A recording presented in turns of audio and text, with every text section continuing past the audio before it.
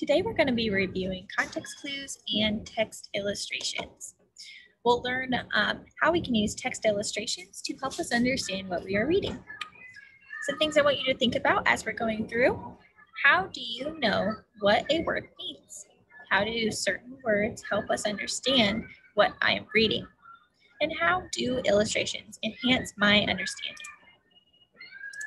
Quickly, there are five different kinds of clues we can use when we're looking at a new word. We can look for a definition in sentences around the word. We can look for synonyms, antonyms. We can use inferences and connections with what we already know, or we can look for an example in the text. In your next assignment, you'll be looking at these as you read the Velveteen Rabbit. For text illustrations, once we are finished with this lesson, I want you to write out what you have learned about text illustrations and how they can help you as a reader. First, we're gonna look at some vocabulary. The first word is aspect.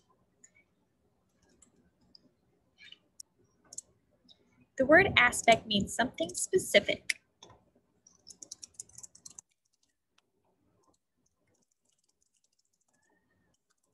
You can write this down on your Classkick as well. So maybe an illustration will show something specific that the words don't tell you about. An illustration can also show you the mood. Maybe the coloring is very dark and it makes you think um, that it is a sad setting or a sad mood.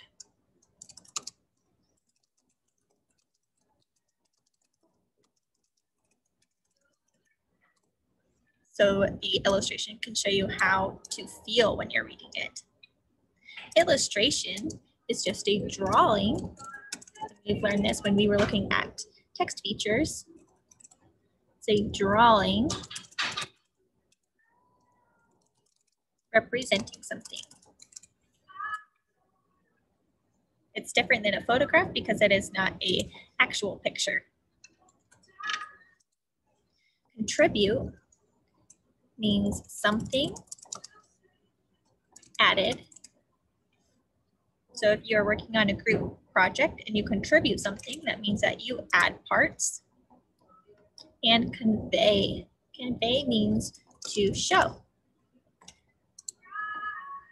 So a illustration, text illustration might show you something that the words do not. Go ahead, write these in your Classkick.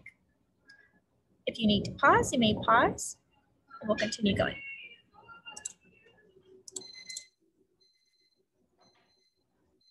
So how do illustrations help tell the story? Illustrations show us what is happening with the character and the place or setting of the story. They also give us more details about what is happening in the story. And finally, they can tell us the mood of the story. It is, is the character happy, excited, sad, or angry? Let's look at an example. In the picture, without looking at um, any of the text, I want you to think about these questions. What is happening to the character in the illustration? And what, in what place? What is the setting? You can see that they are probably on a roller coaster at a um, amusement park maybe. Looking at their face, how do you think the character is feeling? Pretty happy because they have a smile on their face. Does the illustration tell us about what kind of mood the character is? They're probably really excited or thrilled because they're on a thrill ride. Is the character happy, sad, excited, confused, worried, or angry? You could tell that they're excited and happy because they're smiling and their hands are up. Could the illustration add to the meaning of a story?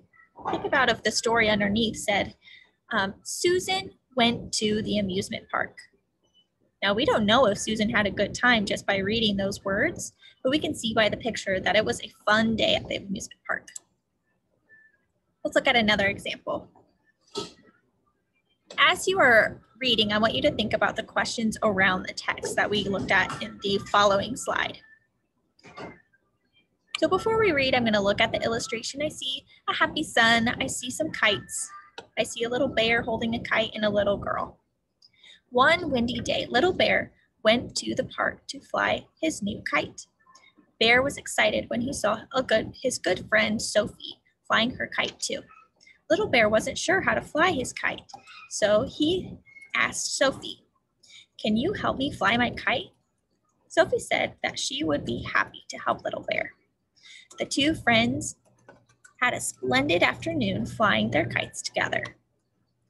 So we can see that they are both happy. They both have smiles on their face. So that shows me the mood. What other things do you think this picture adds to the story? What was the weather like that day? You can see in the illustration that it was sunny with a couple of clouds. It didn't say that in the text, but we can see that in the illustration. What do the illustrations tell you about what the character is like?